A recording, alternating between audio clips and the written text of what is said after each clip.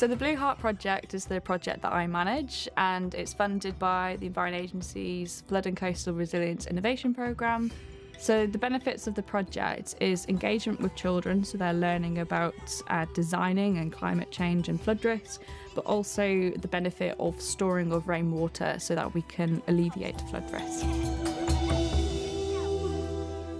Today's been a chance for children to explore and investigate in their own time, in their own way.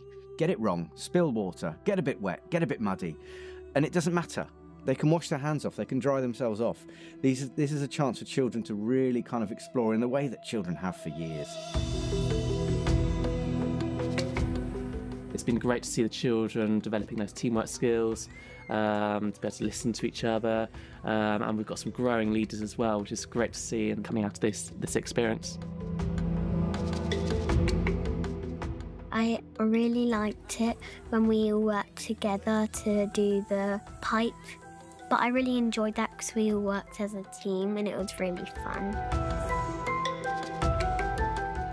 SUDs are sustainable urban drainage systems, so features that can attenuate water in the urban environment to alleviate flood risk. Well, schools provide like an excellent opportunity for not just providing flood attenuation, but also to engage with the pupils, the teachers, and the parents for why these features are being installed in the first place, so that they can learn about flooding in their local area.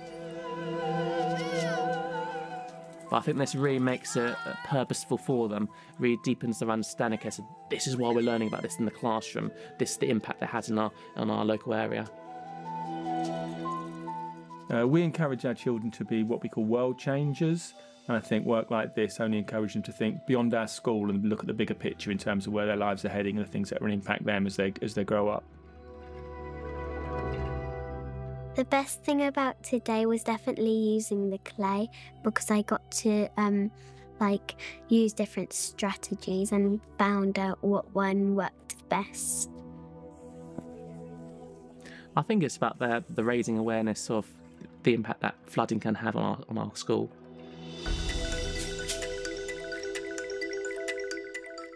When we were doing this activity, I found out that grass dissolved water quicker than the concrete. The whole idea of the outdoor learning activities leads on to their design project and then get them designing systems that will go into their school. They're going to come up with ideas that are going to be perfect for their school and then going to engage further you know, other children within the school as these systems are put in place. And then we've got the tap and a bowl connected to the plant. It's really nice for the animals, and then we're not just wasting water.